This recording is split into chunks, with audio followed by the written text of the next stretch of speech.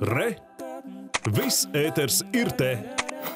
Saima pirmajā lasījumā sākus izskatīt nākamā gada valsts budžetu. Koalīcijas pārstāvji uzsver, ka budžets ir vērsts uz attīstību, turklāt paredzēts algu pieaugums vairākās nozarēs.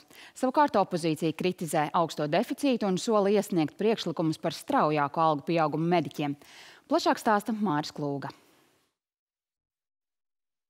Otro gadu pēc kārtas saima nākamā gada valsts budžetu skatā tālināti.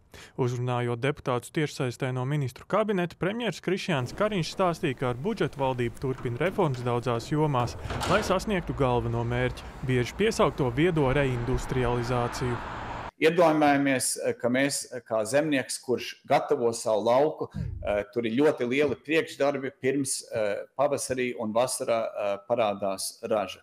Un tas, ko mēs šobrīd darām, mēs sakārtojam vidi, sakārtojam lauku tā, lai mūsu ekonomika varētu vēl jo labāk atspērties un izaugt. Koalīcijas pārstāvis saimā kā budžeta ieguvumus uzsver algu celšanu pedagogiem, mediķiem un iekšlietās strādājošajiem, neapliekamā minimuma palielināšanu gan pensionāriem, gan strādājošajiem, kā arī ģimenes valsts pabalstu pieaugumu. Tāpat papildu naudu iedalītu pašvaldību projektiem un citām investīcijām. Un tas viss mans iepriekš pieminētais uh, ticiet vai nē, tiek panākts nepalielinot, nepalielinot nekādus nodokļus. Un gluži otrādi, reto reizi ilgo gadu laikā ir samazināts viens nodoklis, 5% PVN likme tiks piemērot drukātajai presē un grāmatām.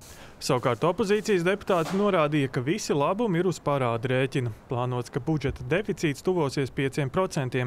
Tāpat opozīcijas pārstāvi norādīja, ka vairākās jomās naudas pieaugums tik un tā būs pārāk mazs, piemēram, mediķu algām. Šim mērķim budžetā plānoti 43 miljoni eiro, kas ir uz pusi mazāk nekā prasījusi mediķu arotbiedrība. Algu pieaugumu solījām, visi kopā solījām šeit saimā 10% apmērā, kas realitātē ir pārvēršies par 4,4%. Un tas viss ir šodien, kad mediķi it kā mums tā teikt ir pirmajās līnijās, kad krīze ir tieši medicīnas jomā. Kāpēc viņus šodien mēs noliekam lūdzēju lomā?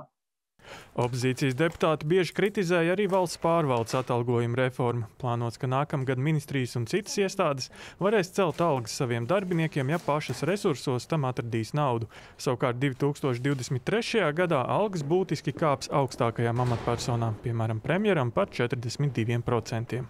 Māris Klūg, Latvijas televīzija.